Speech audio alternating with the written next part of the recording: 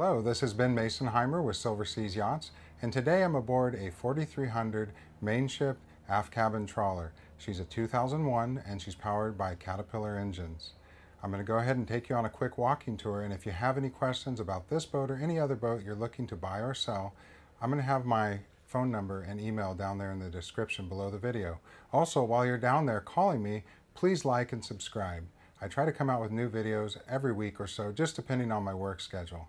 All right, let's go ahead and get started. This is our 4300 Mainship aft cabin trawler. As we walk down the side of the boat, you'll see it has a lot of good shine on it. Now we did catch the boat on wash day and it was out for the holiday weekend, so you might see a little water spotting. Uh, but the boat is used regularly and it's only being sold to make way for a larger vessel. So lots of good shine on the boat, Rails and rub rails all appear to be in good condition. You have a stair that mounts here, it's just up there. Now it'll mount here if you uh, need to get on the boat where you can't make it to the swim step. Integrated swim ladder. You have a step up here into your aft cockpit. Now something I like about this boat, a normal aft cabin, as soon as we come aboard, we're going straight upstairs with all our gear. On this one, we're just going to go straight down into the master bedroom and we can just set all of our gear on the bed and then load it into different areas when we're ready. Here in the master, we have storage all along this transom wall. You have a nightstand with storage on either side of the bed. You have hydronic heat and regular heat and air conditioning in this area and you have some storage drawers underneath the bed there. The carpet's in good shape, headliner's in good shape, all the woodwork's in good shape. All I can say is we have one light bulb out right here, but other than that, she's looking pretty good.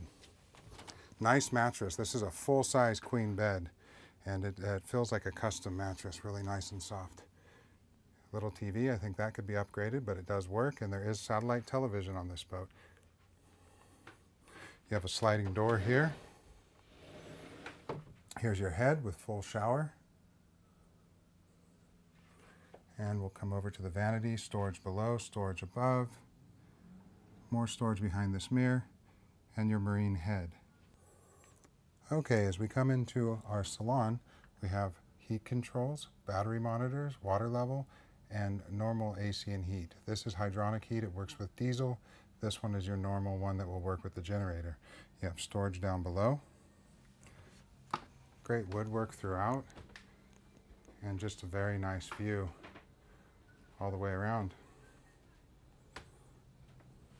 So you have opening windows and shades that pull down, an opening door on either side. So a lot of light, natural light and uh, quite a bit of um, ventilation through here without ever using the AC or heat.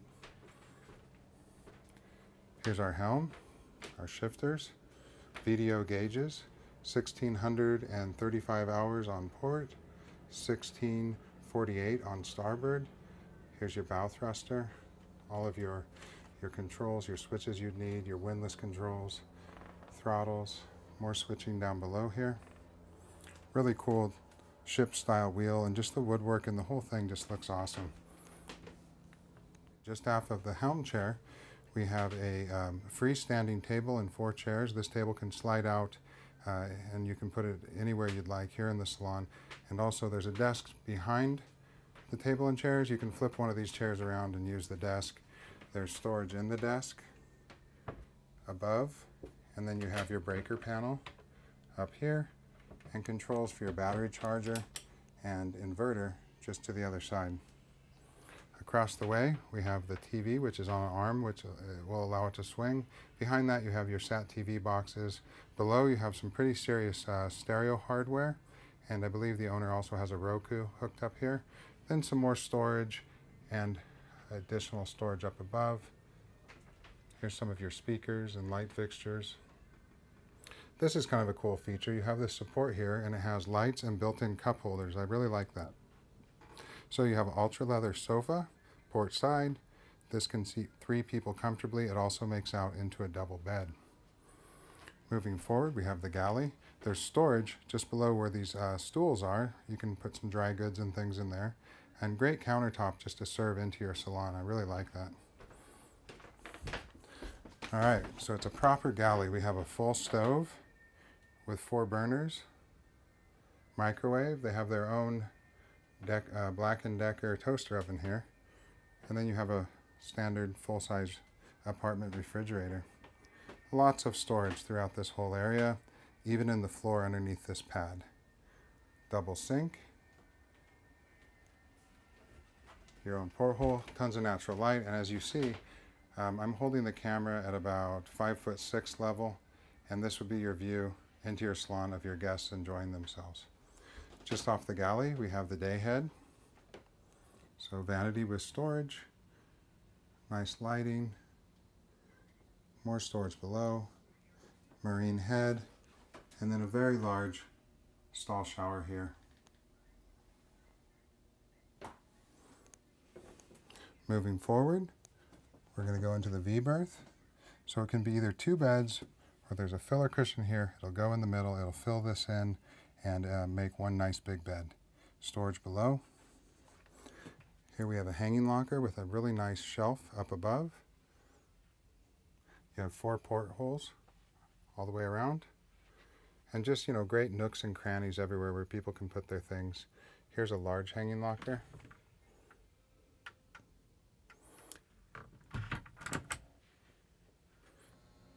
Okay, so I've lifted up the stairs that go down to the galley.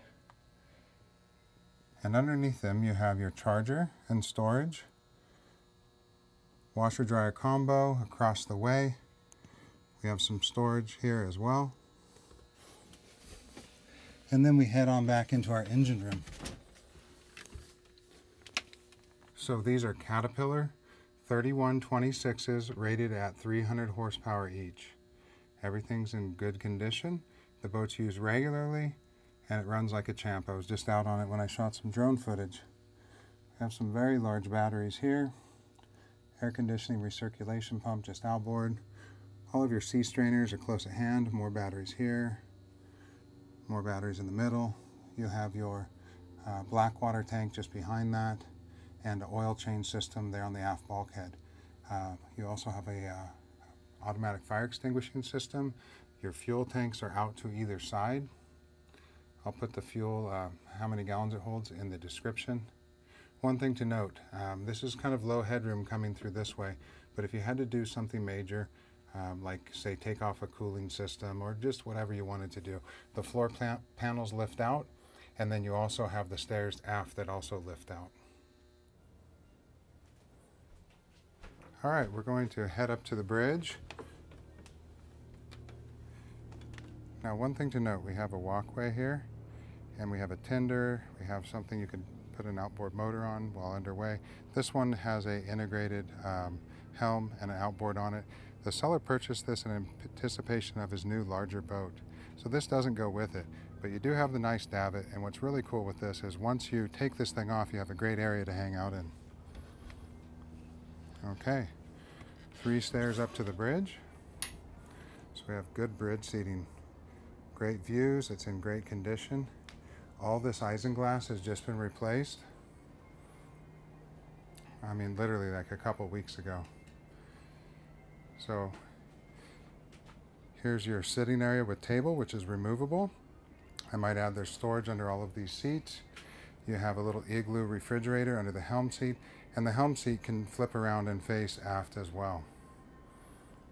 So great view from up here, very commanding view of what's going on and a really nicely laid out helm.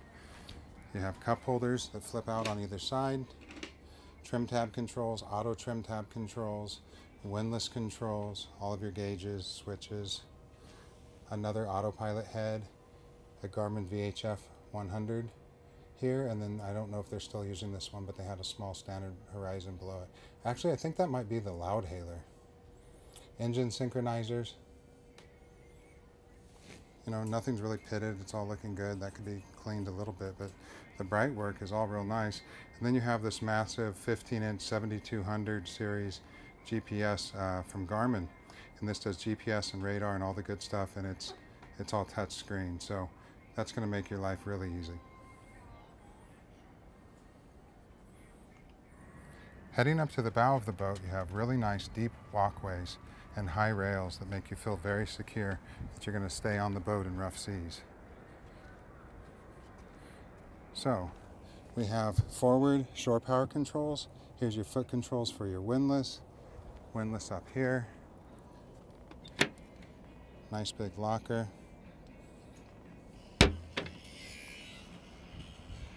Fender storage here. And really just a good boat all in all, especially at the price point.